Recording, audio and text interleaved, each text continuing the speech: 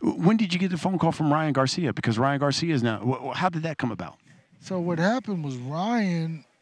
One night I get a text, and uh, one day I get a text, and um, and I I don't know what happened. I went home and I looked at my iPad. I'm like, what? And I just kind of saw something, and I just kind of didn't look at it. And then my wife was getting her eyebrows arched, I mean, and, I, and I drove her to the place for some reason. So she's like, I said, I think Ryan Garcia texted me. She's like, what? Said, you should hit him back. I was like, I get around to him. I got some stuff to do. And so later that afternoon, you know, we text back and forth and um, made it happen.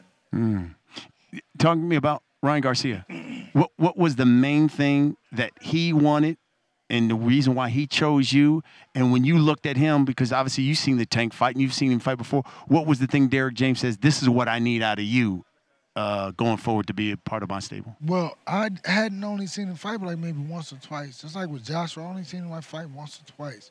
But I just, I mean, we really, it's all about a relationship and building relationships, right? Because I think that the more, the better relationship you have these guys, the more they understand you as an individual and they know that you're really with them. And so with Ryan, I just think it's more about the relationship. I mean, um, we go to dinner together, we kind of hang out. He's always hugging. I mean, like it's like you know, and I think that you have to be what they need you to be, right, to get the best out of them or the most out of them. So I think that he learns. He's understanding. He's very intelligent. He's very truth telling, and so that's the thing about him, Joshua, Errol, Jermell. I mean, they're all Frank. I mean, that's what they do. They, they really kind of want to be who you want them to be.